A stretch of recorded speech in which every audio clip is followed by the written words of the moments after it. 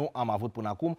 În primele 400 de poziții în clasamentul uh, WTA a spus că de la 200 încolo vine și cu o sticlă de vin, ca să nu vină cu mâna goală. Membră în DDB, atenție, o să vorbim despre toate acestea și câștigătoare de turnee bunicele mai încoace, mai pe luna mai-iunie și de asemenea ne-a spus acum și o să încercăm să aflăm ce și cum, autoare de poeme în limba engleză, atenție mare de tot. Nu mai vorbim de tatuaje, că asta știe toată lumea, o să ne explice ce și cum. Am făcut așa o prezentare uh, totală a jucătoarei de tenis care astăzi, cum am spus, a venit aici să depănăm nu neapărat amintiri pentru că are o vârstă fragedă, dar să vorbim despre tenis și despre multe altele. Doamnelor, domnișoarelor și domnilor, Andreea Prisăcariu. Să rămână bună dimineața! Bună dimineața Ai și ce prezentare ți-am făcut? Frumos! A fost o prezentare foarte drăguță, mulțumesc! Da, Chiar mi-ați făcut ziua! Deci 400 nu contează, ai zis, de la, adică în primele 400 e bine, Bineînțeles dar... că contează așa pentru sufletul meu, dar să conteze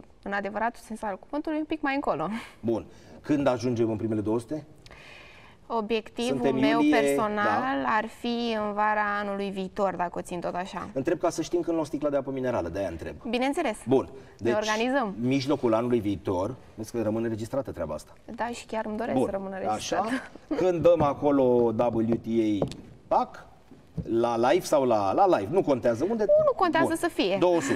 da. Gata. Uh, Sorana am văzut aseară, nu? Sau când ieri, a bătut pe... Uh, Azarenca? Da, pe Azarenca. Da.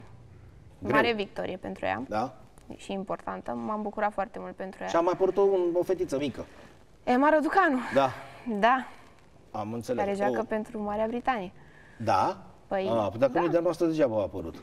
Doar numele parțial românesc. Bun. Hai să o luăm cu, de fapt, cu începutul și cu prezentul. Cu de, ce ești în, de ce ești în România? Sunt în România pentru că aici am familia, în primul rând, și aici am uh, antrenorii, Alexandru Cojocaru și Marius Papu, echipa mea de vis, da, la Dinamo. Singurii unde nu plătești, am înțeles. Că da. Da, acolo am, uh, am terenul gratuit pentru că, na, am înțeles. fac parte din uh, familie. Bun. O luăm cu începuturile? Adică da, o luăm. tenisul, tenis din totdeauna, exista și altceva?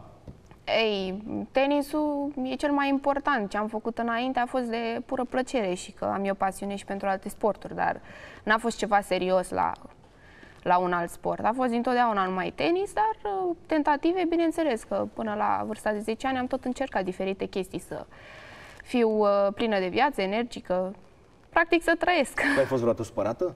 Am fost și supărată, da. dar dacă sunt, mă prefac că nu sunt. E, Am înțeles. Deci e total. Pe teren sau în afara lui? Sau și și? În ambele variante, dar important e să ne arăți. Da, corect. Bun, deci tenisul când a început concret? Concret, concret, pe la vârsta de 4 ani jumate, 5, cam așa. Da. Atunci ai simțit o... Atunci m-am dus la primul antrenament. ca tine. Era. Mai lungă. Din totdeauna am fost pufoasă și solidă, deci din punctul ăsta de vedere... Da, adică se ești la sentimentul da. celui cu care vorbești. Da, din totdeauna a fost așa, nu știu, am fost mereu uh, o fire sportivă. Nu s-a pus problema să nu fac vreun Înțeles. sport. Deci n-ai avut scutire că ești bolnavă de hepatită, cum nu, sunt uh, niciodată. Acum. Bun. Nu. Deci la 4-5 anișori? Da. Greu? Uh, nu, atunci era doar uh, plăcere. Era Corect. vorba doar despre Corect. plăcere, râsete, totul era sub control. După aia au mai ieșit lucrurile din control, dar nu-i problemă. au devenit din ce în ce mai grele. Da. Bun. Ne-am mutat din Iași la București. La București. La 12 ani? Da. Și iarăși întrebarea, n-a fost greu, că prieteni, colegi de mm, școală... Nu prea, mereu am fost o fire singuratică, așa, eu în bula mea proprie. Dar uh, oricum sunt o fire care socializează foarte mult, adică aș putea să-mi fac mulți prieteni dacă vreau, numai că uneori nu vreau. Dar uh, m-am adaptat uh, super repede. Aici în București? Da. Te-a furat Bucureștiul? Nu m-a furat. Nu? Nu, tot mi-am păstrat accentul, mi-am păstrat rădăcinile, temperamentul de moldovean, că toate sunt păstrate. Ai de la Iași în București, e altceva. Bineînțeles. Herăstrău, cluburi astea, discoteci? Am fost și eu la viața mea să văd care-i viața- treaba. e și foarte E bătrână, și foarte, știi, da, dar da, dar este să și știți, tot. am Da. fost și eu să văd cum e, dar nu pot să zic că mă simt în mediul meu. Îmi Da, place cum zicea, într-adevăr să iartă-mă, dansez, da? Cum cea Dan Nistor, am văzut și eu niște luminițe și am intrat și eu să văd ce e acolo. Exact. Să auzeași niște muzică. Da, să vezi despre ce e vorba. Mie îmi place să dansez, sunt o fire petrecăreață, doar că m, oamenii strică acolo Am treaba, înțeles. anturajul în sine și mai bine e de Mese evitat. multe, oameni puțini, cum zicea Da, Gigi da, Dimitriu. exact. Bun, dar ce muzică ascultă asta? Bumții, bumții? Tu, tu, tu, Nu, sau... eu sunt pe vintage.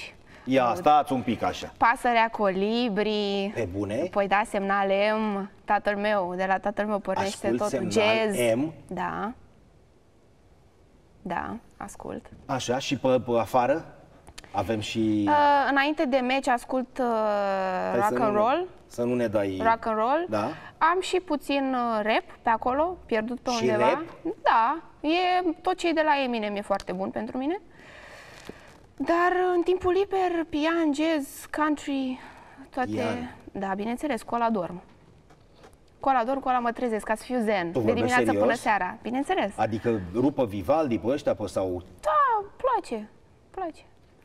Deci matale ești Mozart, atipică. tot ce este. Și Mozart. Da, bineînțeles. Deci matale ești tati. Concertul pentru pian numărul 1, astea? Sau ce ascultăm la Mozart? Nu știu, pun acolo să meargă pe YouTube, începe de la Și cu primul asta minut ador. până la ultimul. Cu asta ador, cu asta mă trezesc ca să îmi fac eu uh, vibe-ul pozitiv de dimineață. Dar cum e în vestiare la, la turnee? Se pune muzică? Sau ești pe căști? Vorbesc serios acum, nu? De regulă, fiecare ascultă muzica ei ori la căști, ori dacă zicem că nu pui la căști, că vrei să te schimbi sau să faci un duș și îți pui pe telefon sau la o boxă mică înțeles. și fiecare cu muzica Deci merge, ei. și fiecare, merge, da, da, merge. fiecare în lumea ei. Toate diferim. Nu e niciuna la fel, sincer să fiu. Și tu cu ce intri în meci? Adică vrei să Um, omori adversara? Metallica. Da. Bun. Mă duc pe Metallica și... Da? Da.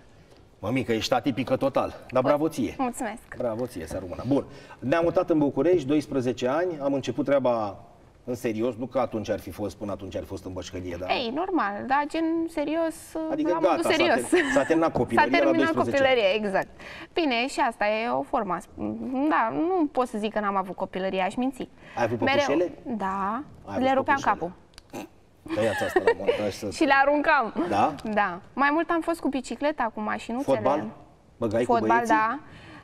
Chiar băgam. Da? Mă lua și tata cu el la fotbal la pădure când mergeam la, la unchii mei și eram acolo. De obicei în poartă, dar degeaba stăteam în poartă. Da. Da, mai mult așa, numai cu piciorul drept știu să dau. Și în rest să mă prefac că mă doare ceva și mă arunc pe burtă. A, deci- La faulturi sunt as. Te arunci în piscină. Da. Bun. Când ți-ai dat seama la modul concret că tenisul e viața ta? Adică, domnule, asta o să fac multă vreme de acum încolo.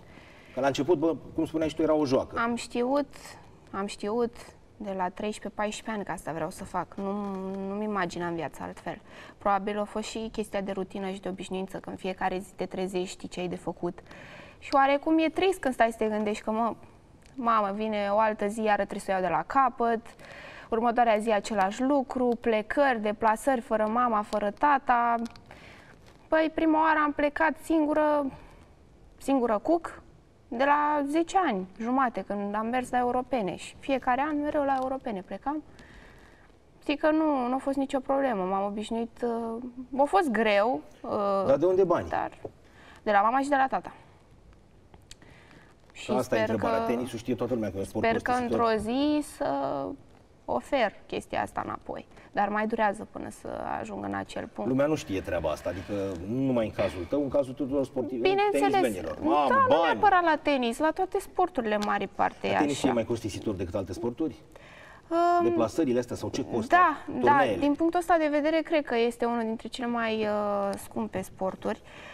Deplasarea în sine care, na, tot noi o facem, tot noi o realizăm. Ei, păi vă uh, ajută și federația. Nu, nu comentez. Am înțeles. Deci federația nu ajută. Uh, Uh, cel puțin în momentul de da, față. Nu. Dacă se uită la noi, pe ei, ei au tăiat banii pentru basket, care e- avem și noi reprezentanți, reprezentante Sunt o acolo. grămadă de probleme Dar nu în intrăm lume. în astea. Bun. Da. Uh, deci deocamdată suntem pe minus. Ca să nu Suntem zică pe lumea, minus. bă, are bani, are... Nu, nu, Bun. Da. dar nici nu mă plâng. Adică niciodată nu o să fac chestia asta, dar da, adevărul este că încă suntem pe minus, cu mult. Bun, dar nu e obositor toată ziua să ai bagajul și periuța de dinți lângă ușă? Uh, obișnuiam, obișnuia să fie obositor, dar nu mai este pentru că deja este o rutină pentru mine. Adică bagajul deja rămâne acolo, în cameră. Nici măcar nu mă mai deranjează să îl mut în altă cameră. Nu mai schimb hainele, le spăl și aia e, și am plecat. Dar uite și Victor Hănescu spunea că la turnee se ducea la Wimbledon singur și cu două genți. Da. Așa sunt românii tot timpul? Adică noi de ce nu putem să ne ducem? Din cauza de bani, nu? Din lipsa de bani. Adică ce nu putem să ne ducem cu 5-5 după noi? Cu un nutriționist, cu unul care ne numără gramele la apă? Depinde de fiecare acum ce sponsor are, dacă are, dacă te ajută cineva. Da, acum, da, dar mare parte suntem pe cont propriu sau cu o persoană, cum am fost eu de am călătorit de mică, mereu cu antrenorul, cu Alex după mine, de fiecare dată. Țipă la tine pe teren? Uh, și țipă când trebuie, că trebuie să mă pună pe calea cea bună și chiar uh, uneori doar asta funcționează. Dar tu îl cerți?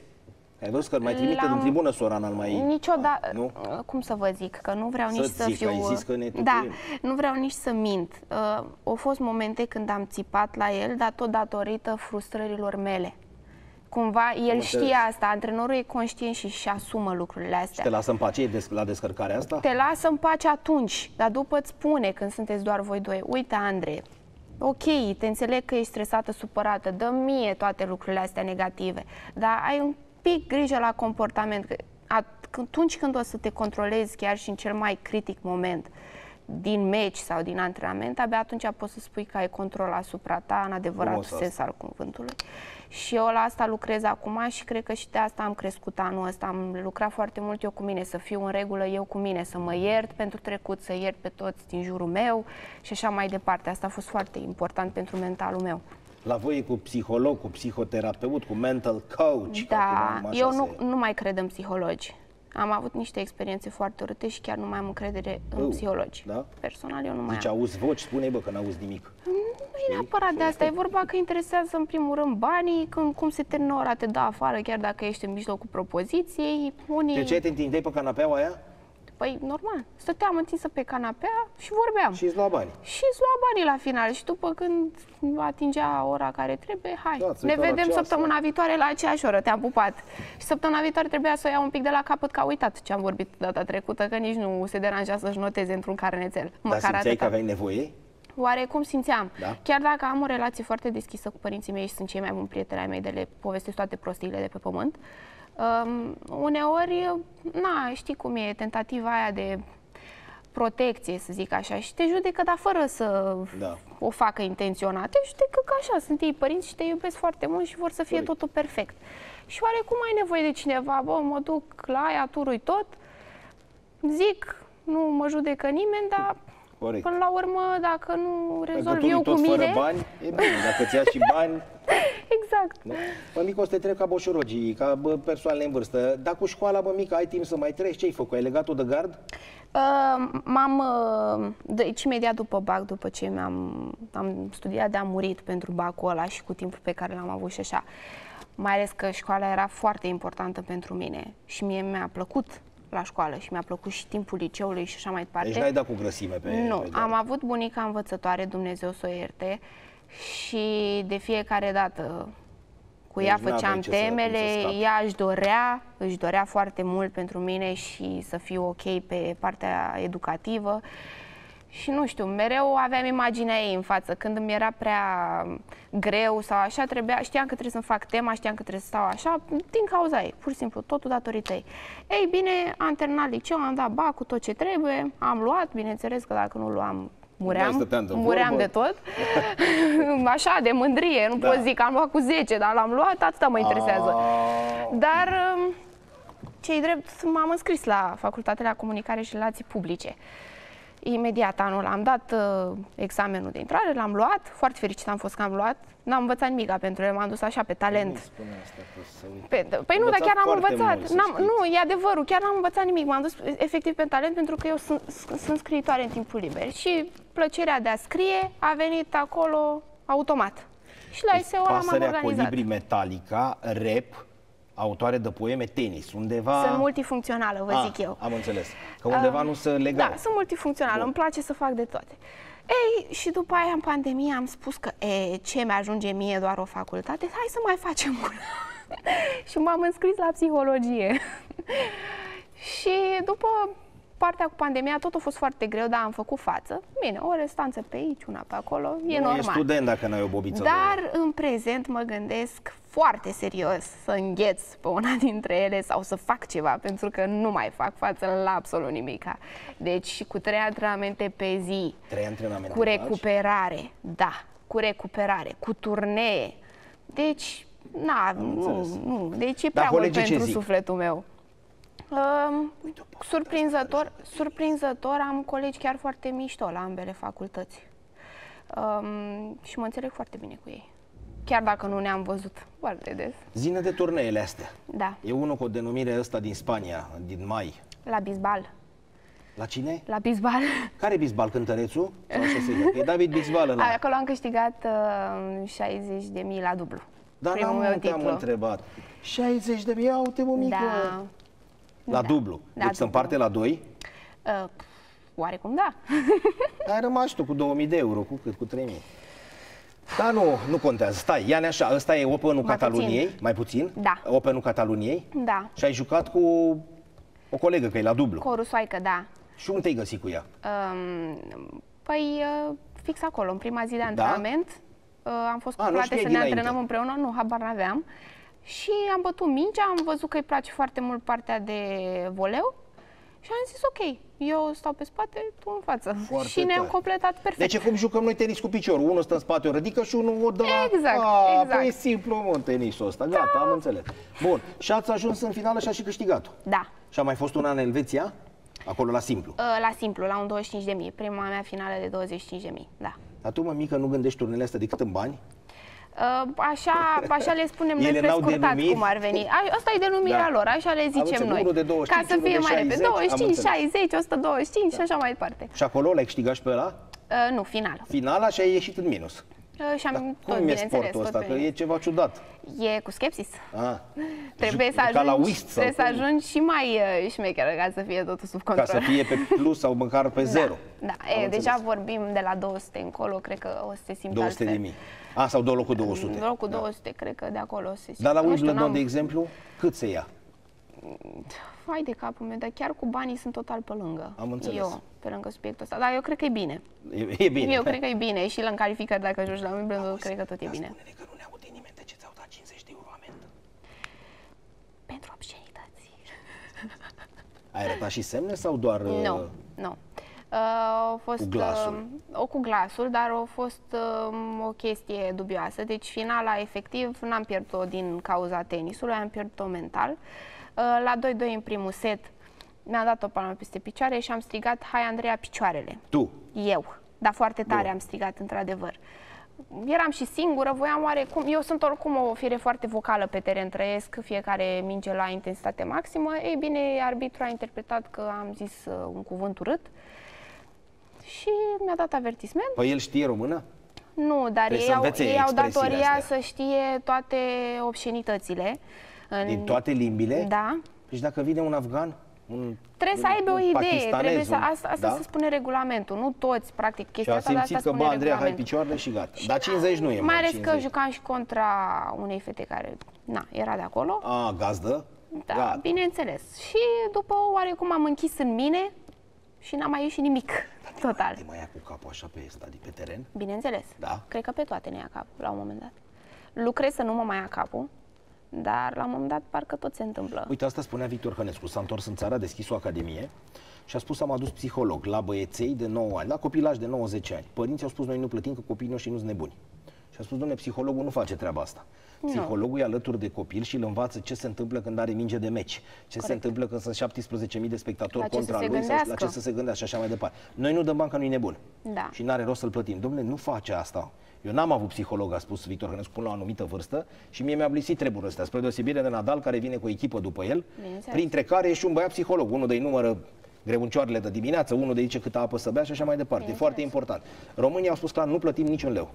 Asta este gândirea românească de regulă. Să zicem, nu când e vorba de bani, dar trebuie să investim în copil, trebuie să investim în noi ca să ajungem undeva. Că dacă suntem zgârciți pe partea asta, cum ar fi eu să mă gândesc câți bani o dată ai mei pe mine?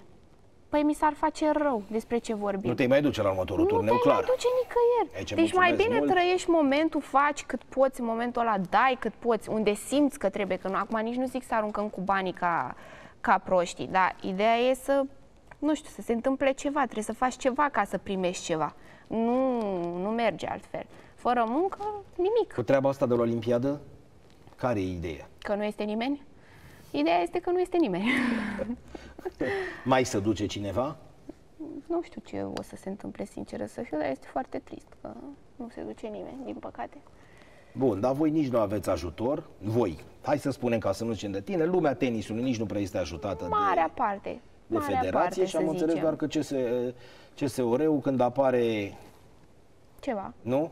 Da, când se ivește o ocazie, hm, Ajută. nu știu. Am înțeles. Ideea este că trei jucătoare bune ajung Avem, pe suntem, acolo, cred nu că știe? suntem singura țară care avem trebuie să atâtea. ducă cineva, adică nu? sunt uh, turnee la care suntem vreo 10-12 români, ce, ce doamne iartă-mă. La turneu. La și la Olimpiada turneu. au rămas doar două. La Olimpiada au rămas.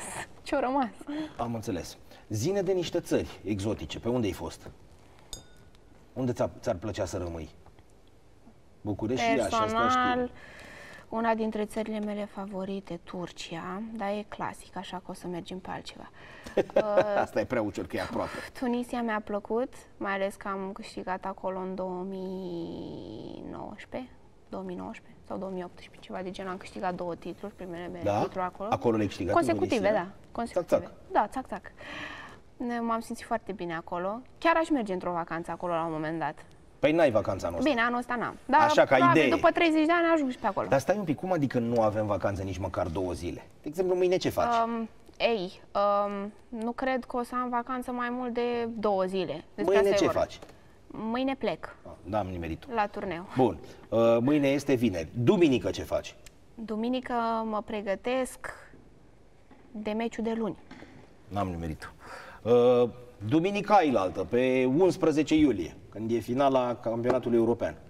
Pe 11 iulie. Ca ce idee, fac? dacă... Um, ce fac pe 11? Merg la antrenament. Am înțeles. Deci vacanță nu. Nu, anul ăsta Deci clar nu- nu și nici nu e momentul și nici nu cred că am nevoie. Vacanță după 30 de ani. După ce mă reglez cu tenisul și Da. totul este perfect, atunci o să am timp de vacanță. Acum, sincer, m-am uh, montat să nu am nicio vacanță deloc. Nu vreau. Da? Nu vreau că n-am de ce. Sunt tânără, mă, mi încar bateriile. Dacă am nevoie de vacanță, mă duc o Deci zi când la vrei țară. să termini cu tenis, da? Mă duc Frumos la țară acolo? și aia e. Normal. Cu animăluțe, cu tot, cu iarbă, cu... Bineînțeles. Da? Mă duc la iarbă verde, Bun. alt fel de aer, alt fel Acolo de îți încarci oameni. bateriile? De obicei, da, acasă la bunici. Bine. Dumnezeu să ierte, că nu mai sunt, dar acasă au rămas. Am înțeles. Mă duc Deci, acasă la ei. Poți apă din fântână și toate astea? Da, tot, tot ce se face la E țară, tot un antrenament și ăsta. mi se pare foarte drăguț. Roșii, brânzică, Da, lapte, de... da. bun. Totul, Bun, deci totul astea- natural. Am înțeles. Acum, e- următoarea întrebare care este? Aia cu tatuajele, nu? Sau nu întrebăm? Păi Bă, ce întrebați. toți mă au întrebat de Întrebați, tatuaje. nu-i Pe ăștia nu-i duce problemă. mintea la altceva? Câte ai? 27 acum. Să, ce să zicem, multe înainte sau ce să zice la astea? Uite, le avem și în Păi plan. mai sunt trei în program. Acolo e cu 3 metro sobre el cielo. Da, 3 metri deasupra cerului. ce e acolo? Um, iubirea vieții mele,